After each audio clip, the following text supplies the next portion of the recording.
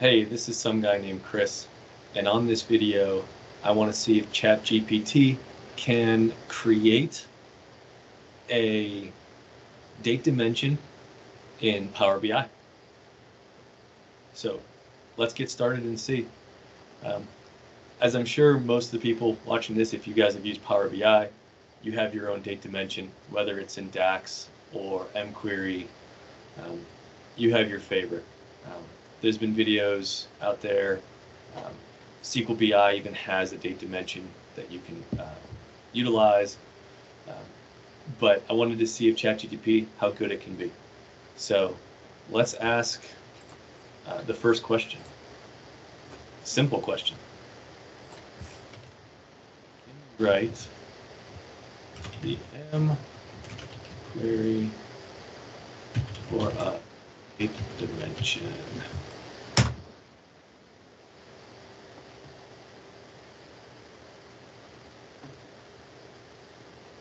Now, one of the reasons I'm doing this is a client recently wants to do some of their own Power BI implementation, but asked for some help. And like I said, I have my own standard query that has a lot of this information, but figured why not ask ChatGPT? So didn't spit out ton. I know uh, there's a difference between uh, some people use fiscal years, all that stuff. Again, let's just see how good it is. Working. That's awesome. so got that a quarter. So please add month name, her name,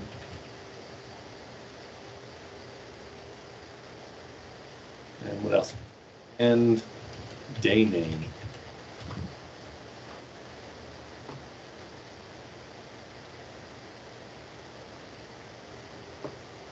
I'm not sure how many people actually use a date dimension and don't have the names of the dates or the months and stuff. So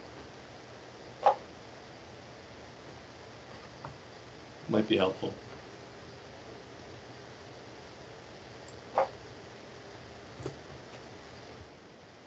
Just a copy code. I guess that's smarter. Work harder, not smarter.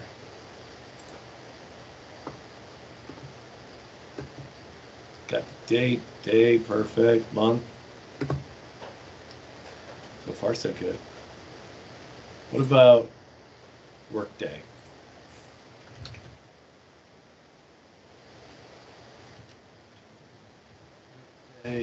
Versus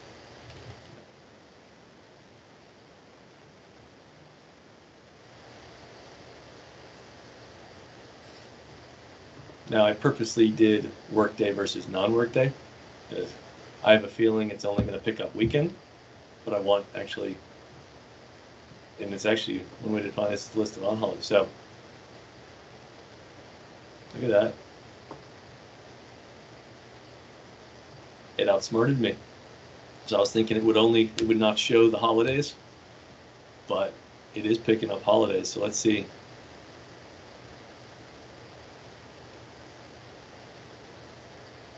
Is a holiday, is a work day.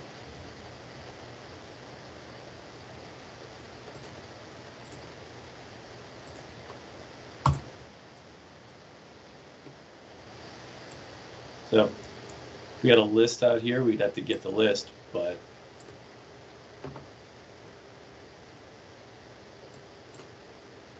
Ooh, errors.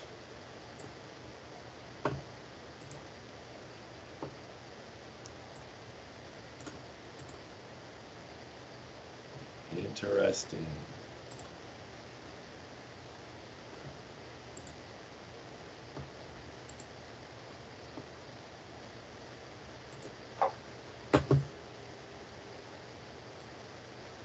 So, as you can see, is in holidays does not exist. And it is not pulling from the holidays section. Definitely airs out, definitely a problem there. Let's get rid of that one. We'll put year here. I forgot the comma.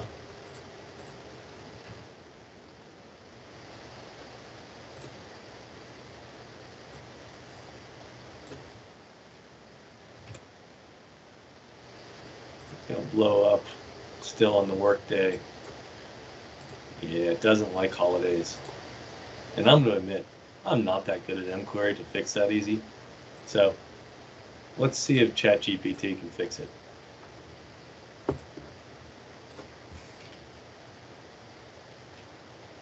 Dot is in holidays.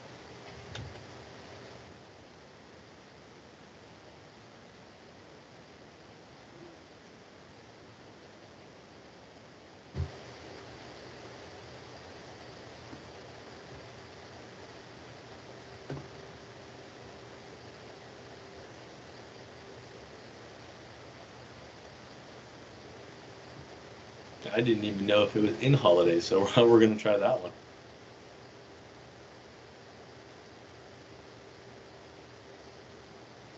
Now, obviously what you're doing here, we're looking at a basic uh, date dimension. Fiscal years going into further detail, we'd have to add it last seven days in the last quarter. We can all factor those in. But those are all response things that I've put in mine last seven days, last 30 days, just because our my client wants it or I want to analyze that type of data. So let's see. Still airs. I was gonna say I, I I could be wrong, but I didn't think in holidays is still actually in there too. No. So it's not smart enough to do holidays. But let's go back and say holidays.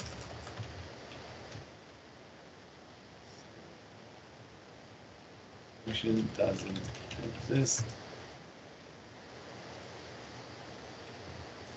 Let's just stop this one.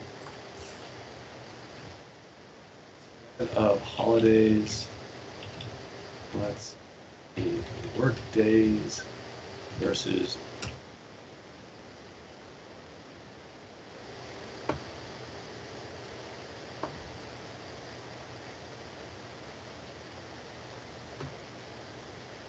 So one of the things I had done for uh, a lot of my reporting is we use a, a PSA called ConnectWise, and there's actually a holiday table.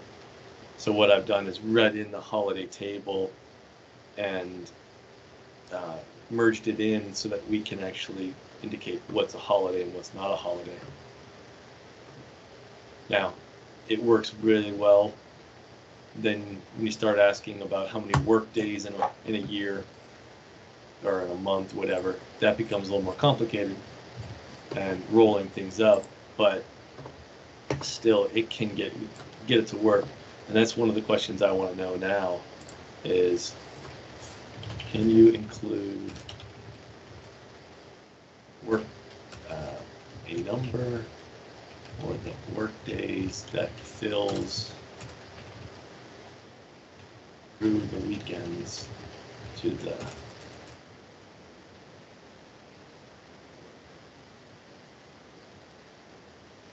this is going above and beyond. Now as we can see, ChatGPT can get close with the date dimension, built out a very basic one. Um, there's a lot online you can probably copy better, but it's getting there. Um, you have to still, you don't have holiday, still don't have holidays. You work days are truly just non-weekends.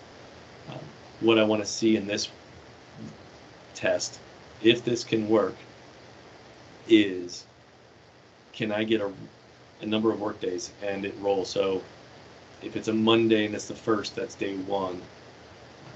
There might be normally in a year there's or each month it's between 19 and 23 days of work uh, work days. So, but over the weekend, over a holiday, you either push it back or you push it forward on the number of work days so that when you do a, let's say a WIP type report, you can see the number of work days versus other things. Yeah, so it doesn't seem to work.